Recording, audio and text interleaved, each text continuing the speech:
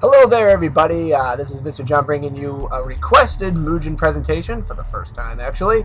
It is Omega Tiger Woods 2013 versus uh, the 1.0 version of Ronald McDonald and Omega Dink Smallwood. This request was made by a Stargazer 1331, and I hope you're happy with the outcome. Ronald McDonald. You shall burn in hell, Suzumiya. I Fuck the Philippines! And fill my Alright, so let's see what the hell happens here.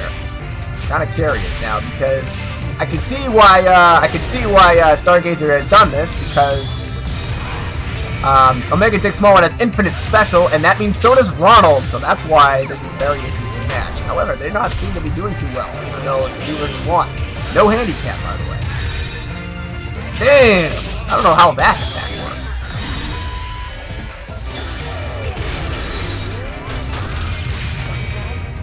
Gotta be careful though with that pinch state action.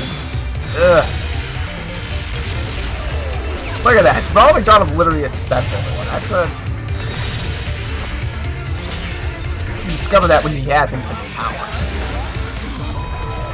Wow, that was not smart. D uh, Dink is down, so let's see what happens now.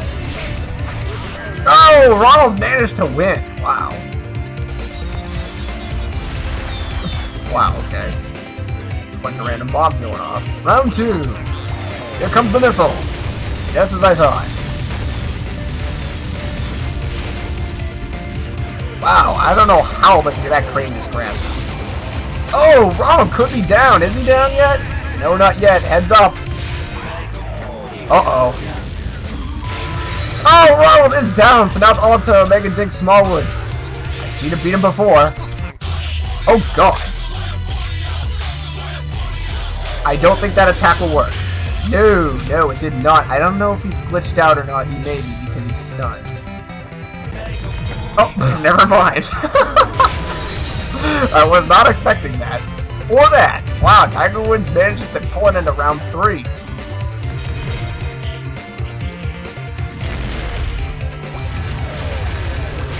Oh, wow. Bunch of crap going on now. Oh, oh! That hurt Ronald as well. That was a de oh, that was definitely a malfunction right there. oh my god! wow, okay. Yeah, he randomly pulled on Stromic Silence, so who knows? Maybe they planned that all together.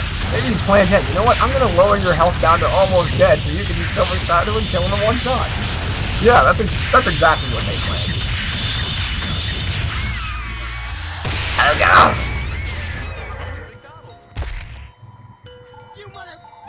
Dead or alive, you're coming with me. Dead or alive? I, don't think there's a way for him to be alive. oh man. Okay, so that's what happened. So well, that was actually a dead even match. Besides Shomek Sadu, but that was dead even. It went into three rounds and it was very close. So yeah, that was a really good battle. Uh, I don't know if I'll really be taking any more Mugen requests, but if I do, maybe yours will be up next. So I will catch you guys later on another Mugen project.